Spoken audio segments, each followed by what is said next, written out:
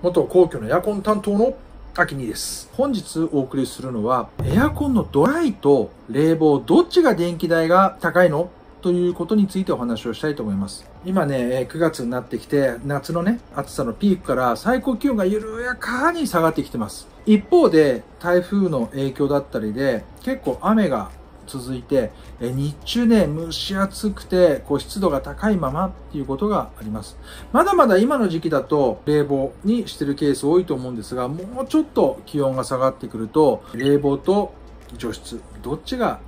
電気代が高いんだろうということで悩まれる方もいるのではないでしょうか。えー結論から申し上げると、冷房と除湿、これどちらが高いのかっていうと、除湿の方が高くもあり、安くもあるっていうケースなんですね。どういうことか。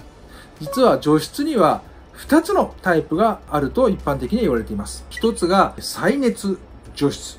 そしてもう1つが弱冷房除湿です。まあ、弱冷房除湿っていうのは、もう読んで字のごとく、弱い冷房にして、えー除湿をしていくので、結果的に冷たい風が出てきます。冷房ほどではないですが、冷たい風が出てくるので、緩やかに室温は下がっていくんですよ。一方で再熱除湿っていうのは、下がった温度をエアコンの内部でちょっと温めてから戻すんですね。なので、再熱除湿の方がちょっとね、暖房的な運転サイクルが入ってくるので、電気代がね、高くなるんですよ。その分、冷え性の方にはとても喜ばれるわけですよね。だって室温が下がらずに湿度だけ下がるわけですから、ちょっとね、冷房が苦手、冷やすのが苦手っていう人には、やはり再熱除湿っていうのは非常に喜ばれる機能にはなるわけです。ただ、電気代っていう観点からすると、やはり温めるっていうサイクルが入る分だけ、再熱除湿が高くて、冷房運転、そして弱冷房除湿という形になってくるので、除湿のタイプによって高くもあり安くもありという理由がお分かりいただけるのではないでしょうか。じゃあ、どの機種が弱冷房で、どの機種が再熱除湿なのかってことになると、ざっくりと言うと、一番お安い機種から中グレードの機種ぐらいまでが、一般的には弱冷房除湿。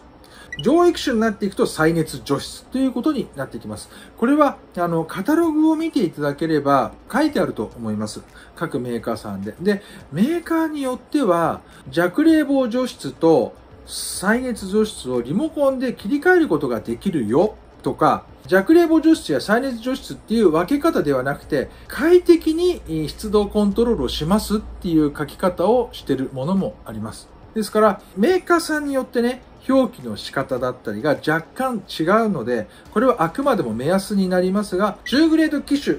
までの目安が弱冷房除湿というふうに覚えておいていただけると、まあまあ、目安にはなるのかなと思います。で、どうしてもね、あの、自分たちの機種が、例えばそこそこ中型だよとかね、ちょっと上位寄りだよって思われる場合には、型番をね、インターネットで検索かけてみていただけるとお分かりになるんじゃないでしょうか。なので、え普段僕の方がよくお勧めしている、とにかくベーシックなエアコンで、シンプルな機能の方の方がいいですよという場合には、ほとんどの場合弱冷房除湿になってきます。なので、ドライの方が冷房でするよりも電気代がちょっと安くなるよっていうケースになってきます。その分、除湿の時にちょっとこう肌寒いなと感じるケースがあることだけご注意いただきたいと思います。ですから、先ほどのからのお話になってきますが、使うシチュエーションとするとね、春から夏に切り替わりたての梅雨時、気温がそこまで高くないけど湿度が高いよっていう時には、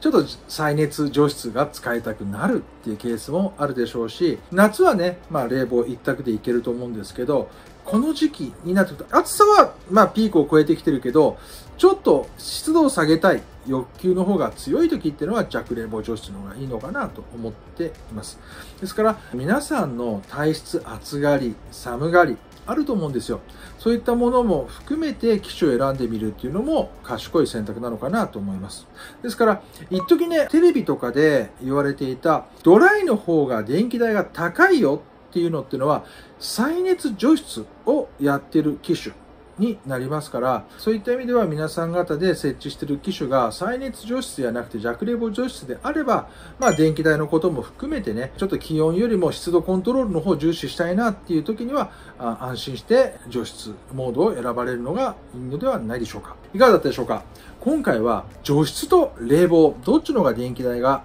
高いの？についてお話をしました。皆さんの家庭の機種に合った運転の仕方を選んでいただけるといいなと思います。なるほどな、納得したよっていう方、ぜひチャンネル登録、そしてグッドボタンの方をよろしくお願いいたします。それではまた次の動画でお会いしましょう。元皇居のエアコン担当のアキニでした。それでは失礼します。家庭用エアコン、業務用エアコンのお問い合わせについては、概要欄に貼ってありますサイトをご確認の上、メールにてお問い合わせください。